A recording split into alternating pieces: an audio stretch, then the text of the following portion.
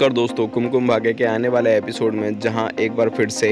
प्राची बोलेगी कि ठीक है, मैं इस घर को छोड़ने के लिए तैयार हूँ। क्योंकि प्राची कहीं ना कहीं अब पूरी तरीक़ा से अंदर से टूट चुकी है और रिया ने जो एक ढोंग का खेल खेला है प्राची के साथ में कि, प्राची, मेरे बच्चे के लिए तुम हमें छोड़कर चली जाओ। लेकिन दोस्तों, कहानी में अब ट्विस्ट और भी ज़्यादा देखने को मिलेगा, जहाँ पर आप लोग देख पाएँगे कि रणवीर एक बार फिर से सभी घर वालों को अपना डिसीज़न सुनाता हुआ नज़र आने वाला है। रणवीर बोलता हुआ नज़र आएगा कि, इस घर से अगर कोई जाना चाहिए तो वो मैं जाना चाहिए हूँ, क्योंकि प्राची की किसी भी तरीक़ा से कोई गलती नहीं है, लेकिन उसके बावजूद भी प्राची को इस घर को छोड़ना पड़ रहा है, क्योंकि जो गलती है वो सब कुछ मेरी गलती है और मैंने ही रिया को इतना चढ़ाए के रखा है, क्योंकि जब मेरी पहली वाइफ थी, लेकिन तुम लोगों की वजह से मेरी किस तरीक़ा से रिया के साथ में शादी हुई, वो सभी लोग जानते हैं, लेकिन मैं प्राची को कभी धोखा ना दिया है और ना ही प्राची को धोखा दूँगा, क्योंकि लगातार आप लोगों के कहने में मैं बहुत टाइम गुजार चुका हूँ हूँ सभी के साथ में, लेकिन अब मैं चाहता हूँ कि या तो मेरा समय प्राची के साथ में गुजरे, क्योंकि प्राची को इस समय मेरी सबसे अधिक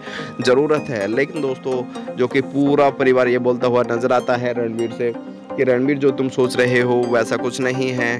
प्राची अपने आप मैनेज कर सकती है। लेकिन दोस्तों, रणवीर बोलता हुआ नज़र आएगा कि प्राची ना ही अपने आप मैनेज कर सकती, प्राची को मेरी ज़रूरत है। और दोस्तों, प्राची भी बोलते हुए नज़र आने वाली है रणवीर से कि रणवीर, अब भला इसी में है कि मैं इस घर को हमेशा हमेशा के लिए तुम्हें, तुम्हारे रिया के पास में छोड़कर चली जाऊँ। क्योंकि तुम्हें लग रहा है कि तुम ये जो दिखावा, दिखावट कर नाटक करोगे, वो मुझे समझ में नहीं आएगा, लेकिन मैं तुम्हारी बात को पूरी तरीक़ा से समझ चुकी हूँ। और अगर तुम्हारी खुशी वाकई में रिया के साथ है तो तुम रिया के साथ में खुश रहो। आज के बाद में तुम्हारा और मेरा किसी भी तरीका का कोई कांटेक्ट नहीं होने वाला, क्योंकि अब मैं हमेशा हमेशा के लिए आपकी ज़िंदगी से जा रही हूँ, अलविदा कहकर, जिसके बाद में रणबीर बोल देगा कि मैं ऐसा होने ही नहीं दूँगा। साथ ही दोस्तों, अनुरोध करना चाहूँगा, चैनल को सब्सक्राइब करने के बाद में वीडियो को लाइक कीजिए एंड कॉमेंट करके ज़रूर बताइए। Thank you so much